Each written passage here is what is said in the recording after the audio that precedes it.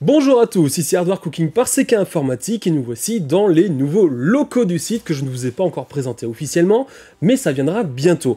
Cette vidéo est sponsorisée par Aorus, qu'on remercie d'ailleurs parce que sans ce type de partenariat de temps en temps, il serait difficile de payer toutes les factures des frais inhérents au site comme le serveur, etc. Donc dans cette vidéo, vous l'avez deviné, on va vous parler de cette carte mère, une Gigabyte B550 Aorus Elite V2. Avant de commencer avec les caractéristiques techniques, je vous propose de la situer un petit peu dans la gamme de chez Aorus. On n'est pas sur de l'entrée de gamme, on n'est pas sur du haut de gamme non plus, on est vraiment sur quelque chose de moyenne gamme qui sera accessible au plus grand nombre. Juste au-dessus, on retrouvera la Aorus Pro, et un cran au-dessus encore se trouve la Aorus Master, qui est vraiment le, flagship de cette gamme B550. Cette carte mère B550 Aorus Elite se présente sous un format ATX totalement standard qui rentrera dans la plupart des boîtiers et il va accepter les processeurs AMD Ryzen de génération 3000 ou même 5000 comme les 3700X, 3900X ou encore les plus récents 5600X, 5800X ou encore le 5900X pour ne citer que. Rentrons maintenant dans le dur et regardons ses caractéristiques techniques. Cette carte mère, comme vous le voyez, comporte 3 slots PC Express en 16X. Seul le premier, qui est renforcé d'ailleurs, qu'on voit juste là, propose du PCI Express 4.0. Les deux seconds non renforcés sont toujours en PCI Express 3.0. Pareil, on dispose de deux slots pour SSD au format M2, dont le premier seulement qui est en PC Express 4.0 avec le Thermal Guard, donc le dissipateur thermique pour SSD de chez Aorus qui est directement intégré à la carte mère. Ce dissipateur thermique sert tout simplement à éviter un étranglement thermique. L'étranglement thermique, c'est quoi? C'est tout simplement lorsqu'un composant chauffe de trop, il va volontairement baisser ses performances afin de stabiliser, voire de réduire ses températures pour éviter un dommage physique. Notez qu'il est possible à partir des deux emplacements pour SSD M2 de créer une grappe RAID 0 afin de maximiser encore un coup les performances de vos SSD. Et pour rester dans le thème du stockage, n'oublions pas de parler de la présence de 4 ports SATA 3 en 6 Gbps seconde, avec deux emplacements juste sous le 24 pin et deux autres emplacements plus bas coudés à 90 degrés. Pour la mémoire, comme vous le voyez, nous avons 4 slots qui fonctionnent en dual channel et on pourra y loger jusqu'à 128 Go de mémoire DDR4 à une fréquence de 4733 MHz au maximum.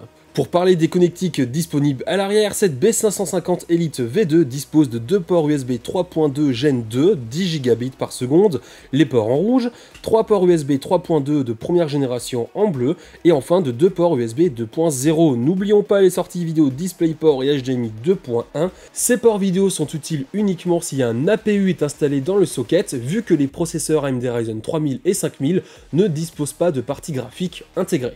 N'oublions pas non plus de préciser la présence du bouton Q Flash Plus qui servira simplement à mettre à jour le BIOS même sans processeur installé dans le socket. Pour parler des prix, actuellement, au moment où je tourne cette vidéo, on peut trouver cette carte mère B550 Elite V2 à des prix allant de 134 euros sur Amazon à 160 euros sur LDLC.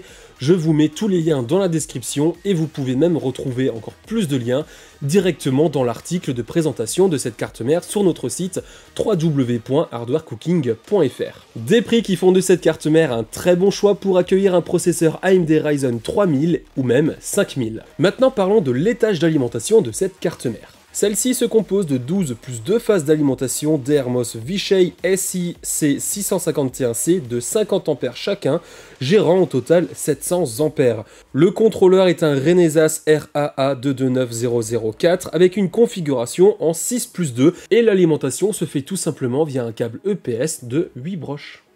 Pour rappel, l'étage d'alimentation est un ensemble de composants autour du socket qui sert à transformer le 12 volts qui arrive par la prise EPS en 1,30 ou 1,50 volts que nécessite le processeur une fois dans son socket. Et il faut donc une énergie propre et stable afin que le CPU ne crame pas grossièrement. Dans ces composants, on va tout simplement retrouver des MOSFET, des condensateurs, des bobines et bien sûr le contrôleur qui joue le rôle du chef d'orchestre. Nous en avons déjà parlé dans plusieurs de nos vidéos et même dans nos articles, de faibles températures sur l'étage d'alimentation sont nécessaires afin d'éviter un étranglement thermique qui baisserait drastiquement les performances du processeur et même plus globalement ça empêche des dommages physiques de la carte mère et du processeur. Et ici, Aorus utilise des dissipateurs thermiques en aluminium à large surface afin de refroidir les VRM. Comme chez les autres cartes mères de la marque, Aorus propose son logiciel de gestion Aorus SmartFan 5. Ce logiciel permet de contrôler toute la ventilation de son PC. En effet, cette carte mère comporte pas moins de 6 sondes de température alliées à 5 connecteurs hybrides qui permettront de brancher ventilateur, pompe ou même débitmètre. L'aider détectant automatiquement à quel type de composant il a affaire et s'adapte automatiquement dans le logiciel. Notez aussi que le logiciel SmartFan 5 permet de stopper les ventilateurs sous un certain seuil de température afin de garder un PC silencieux au possible. Évidemment, la partie audio n'est pas lésée, avec des composants audio haute qualité tels que des condensateurs WiMA FKP2 de qualité hi et des condensateurs Nishikon Fine Gold. La technologie audio exclusive Aorus Amp-Up constitue la solution sonore embarquée idéale pour les audiophiles exigeants. Les cartes mères Gigabyte embarquent un audio Noise Guard permettant de séparer les signaux sonores analogiques de toute source de bruit au niveau du PCB et un éclairage LED RGB met en évidence cette séparation physique. L'environnement logiciel sur les cartes mères de 6 GB repose sur l'App Center.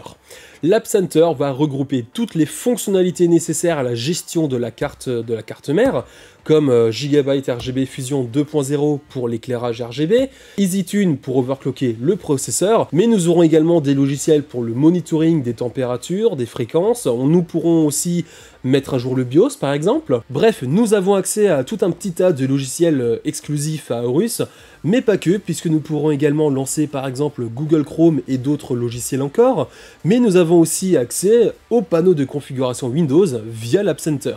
Pour parler de l'éclairage RGB de cette carte mère, il est particulièrement discret puisqu'il se compose seulement d'une petite bande LED RGB au niveau du cache de la connectique arrière et bien évidemment de la partie audio comme nous en avons parlé tout à l'heure. Bien évidemment, cet éclairage RGB se contrôle via le logiciel Gigabyte RGB Fusion 2.0. On pourra y contrôler les effets, les couleurs, mais aussi synchroniser ou non avec d'autres composants et périphériques compatibles. Notez qu'en plus de ça, la carte mère comprend deux headers ARGB, donc du 5V en 3 pins pour des équipements en RGB adressables, mais on a aussi deux headers tout simples en 4 pins pour des composants ou de bandes LED ou ce que vous voulez euh, RGB. Carte AMD oblige, on dispose toujours de la technologie AMD Stormy qui revient ici dans une nouvelle version qui apporte cependant toujours les mêmes avantages qu'auparavant. C'est-à-dire qu'on pourra combiner la vitesse d'un SSD avec la capacité de stockage d'un disque dur. C'est-à-dire qu'avec un seul volume virtuel dans votre explorateur de fichiers, vous pourrez avoir un SSD et un disque dur. Les fichiers que vous utiliserez régulièrement seront automatiquement transférés sur le SSD afin que les accès, l'écriture, la lecture se fassent rapidement avec les débits du SSD et les fichiers qui sont moins utilisés seront automatiquement stockés dans le disque dur. C'est un procédé qui est totalement transparent et c'est assez efficace. Je pense avoir fait le tour de cette présentation sur cette carte mère Gigabyte B550 Aorus Elite V2. Je vous invite donc à liker cette vidéo, à mettre un commentaire si vous avez des questions, des remarques ou quoi que ce soit. N'oubliez surtout pas de vous abonner à notre chaîne YouTube, de cliquer sur la petite cloche pour être notifié des prochaines vidéos. Nous remercions encore une fois Aorus d'avoir sponsorisé cette vidéo et nous vous disons maintenant à bientôt pour une prochaine vidéo. Ooh.